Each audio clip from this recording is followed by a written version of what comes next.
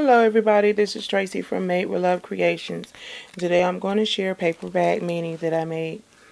Okay, first time I used a coaster and I added some of the Distress Crackle paint to it. Add some alcohol ink to one of the metal words from Michaels, Tim Holtz fragment, and um, ball and chain and added UT to a flower. This is a technique, I think it's from Natalie. And on here is a little shipping tag that um, I distressed my flowers with some walnut ink and glimmer mist. On the other side I used some crackle accents and some stickles, distressed stickles on that side and I have it enclosed together with using some yarn added it onto a clip which I alcohol inked.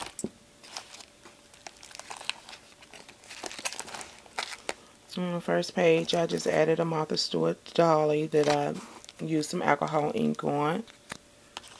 added a tag which is Glimmer Mist and added another tag. Right here I added a charm with, on a chain and I used some um, Scrabble pieces and I alcohol inked them and used some crackle accents on it and spelled out love.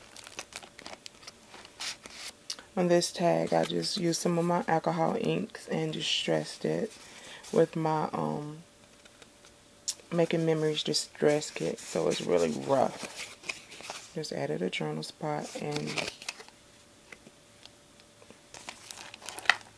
this page I glimmer mist and kind of roughed it up and added some brads and glimmer misted. It. This page I ran a piece of the paper from the collection through my um, through the corrugating cardboard thing. I'm not really sure what that's called, but it made it look like cardboard and added some of the flowers from from Michaels that I got I think Christmas time. And made another photo mat. It's just simple. This page is just a photo mat with the with a Prima and a bling in it. On this I used some of the letters from um, spare pieces and I um, alcohol inked them and spelled out laugh. I added some glimmer mist to the page.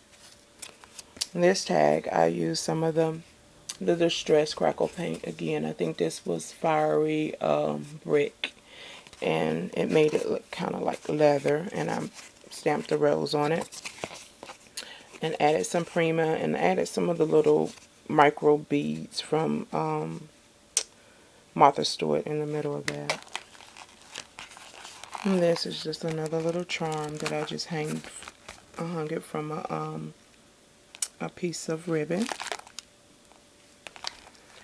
On this page, I used a piece of um, the Tim Holtz grunge board, and I just added um, some alcohol ink to it. Alcohol ink to it, and then I cut out the Happily Ever After from the collection and added some um, of Making Memories um, staples to it.